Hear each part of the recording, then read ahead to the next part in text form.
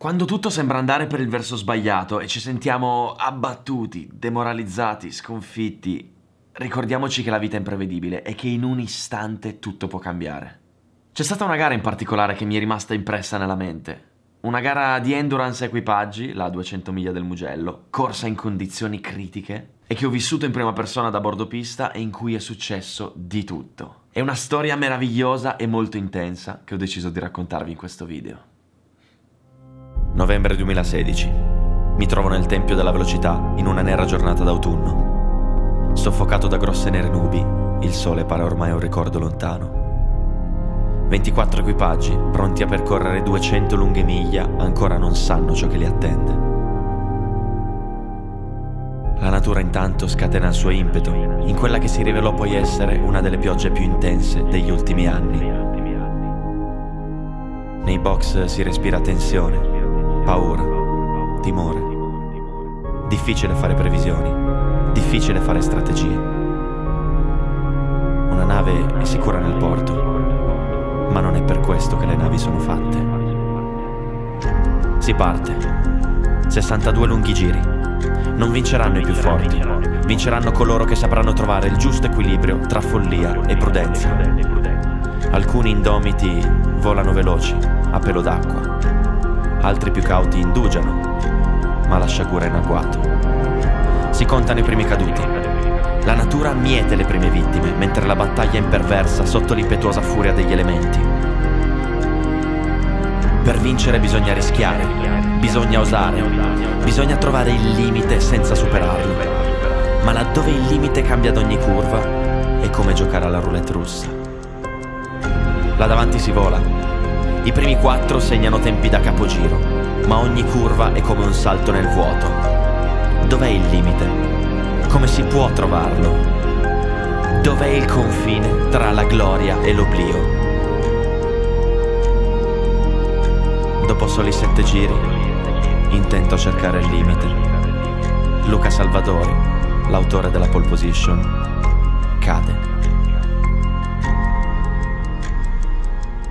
spunta il sole. Un effimero barlume di luce che scalda il cuore e riporta speranza. L'unione degli elementi crea spettacolari giochi di luce e colori che rendono unico questo scorcio di pace. Non ho parole per descrivere cosa si è provato in quei momenti. Ma il sole inganna. La pista è ancora insidiosa e la Marra, il più veloce in pista, dopo aver preso il leader Manfredi, Così come si era affacciato timidamente, silenzioso il sole se ne va, e con esso la speranza e il tepore lasciano spazio al timore e alla fredda oscurità. I caduti si rialzano, i combattenti esausti cedono il posto ai compagni, mentre sul campo imperversa la battaglia. Torna la pioggia e la natura scatena nuovamente la sua ira. Ricominciano a cadere come mosche mentre la gara prosegue imperterrita alla costante ricerca del limite, dentro il casco l'eterno dilemma.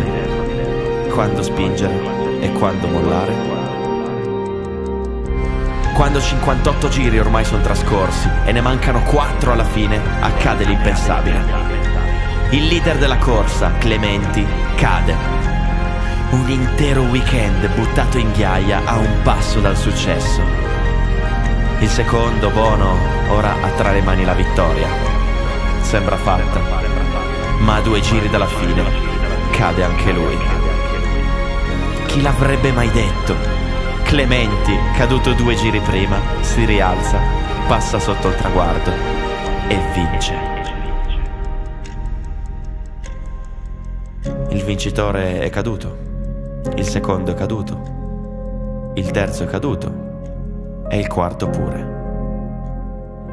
La vita è fatta di sfide e può capitare di cadere. L'importante è rialzarsi sempre, perché fino alla fine non è mai detta l'ultima parola. Un mio amico diceva, le gare finiscono sotto la bandiera a scacchi. Qualunque cosa tu faccia nella vita, la speranza è sempre l'ultima a morire. E finché non sarà morta, non smettere mai di lottare.